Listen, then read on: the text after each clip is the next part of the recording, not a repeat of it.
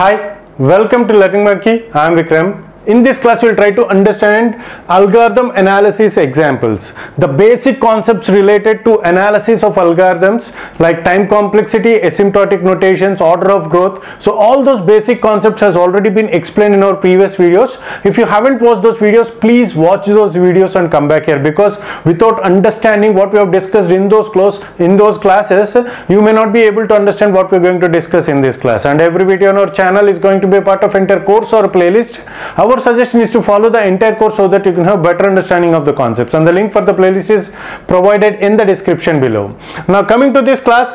Uh, we'll take these examples and we'll try to analyze what is the uh, what is the order of growth of these algorithms not time complexity order of growth. Okay so here we are having an algorithm.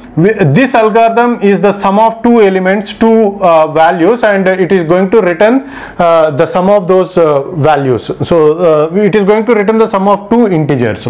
So let's so what is the amount of time taken by this? Here it is going to take one constant amount of time. So only one this uh, only this line of code whatever the input may be. So if you change the input values n number of times at every time it is going to execute only one line of code means one unit amount of time and within that unit amount of time we are going to get the output. So what is that what does that mean? It means that it is going to take constant amount of time. So the efficiency of this algorithm is one. It means that it is a constant amount of time.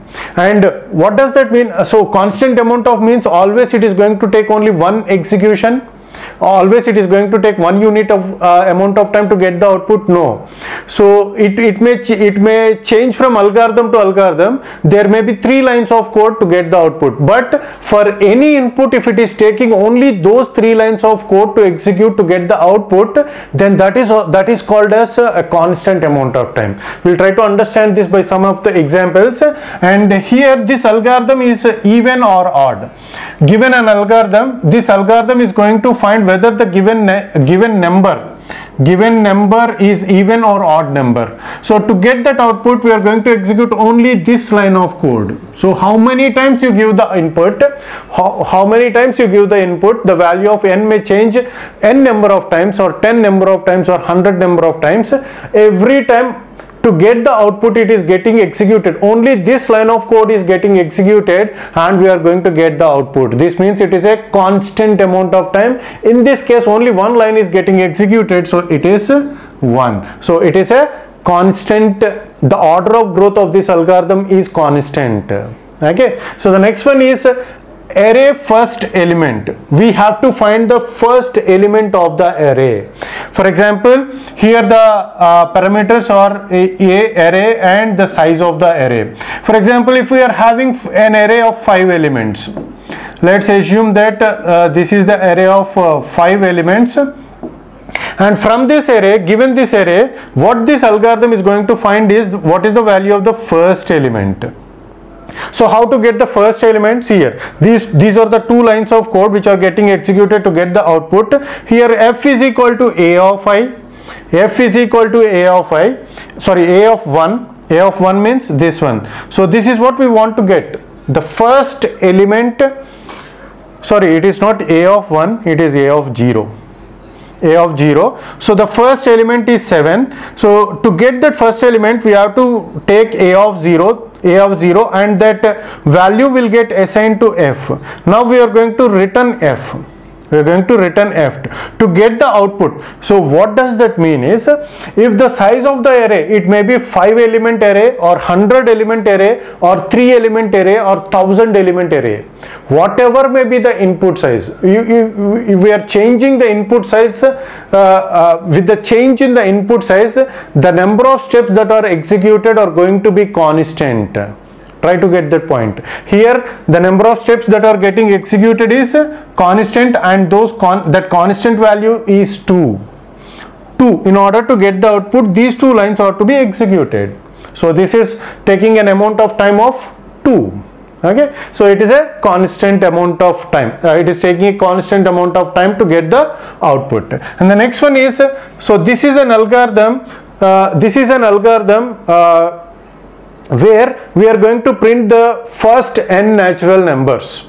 First n natural numbers. For example if you give 5 so what it is going to give is starting from 1 it is going to print first 5 natural numbers.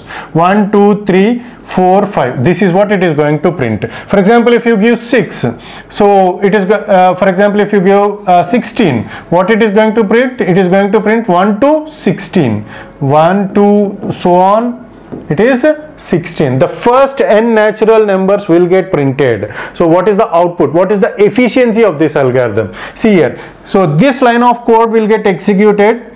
And uh, uh, how many times does this line of code will get executed? So that is very important. How many times does this this will will get executed? It is n plus 1 so as we have discussed that we are not going to consider these uh, uh, uh these uh, uh, lower order terms so within this algorithm itself we are going to uh, discard these lower order terms. We will try to understand we'll, from now on we are going to consider wherever we get the loop we are going to consider it as n number of times. Okay. So this is going to get executed for n number of times. Every time this one also will get executed and this loop is going to iterate. This is the deciding factor of this the efficiency of this algorithm. If you consider this n plus n 2n. So as we have discussed that we are not going going to consider the coefficients of the higher order terms also. So we are going to consider. So what is the time complexity of this? It is 2n plus 1 but what we have said is so we are not going to consider the coefficient of higher order terms and also the lower order terms. Only this one will get considered. So the uh, the logic for this has been discussed in our previous video. Okay. So this is going to take n number of comparisons in order to get the uh, output. Every time it is going to take n number of comparisons. What is the value of n? That is given by the end user. For example, if he wants to print first 100 natural numbers, the value of n is 100. So this is going to get executed for 100 number of times. This algorithm in order to get the output this one will get executed 100 number of times.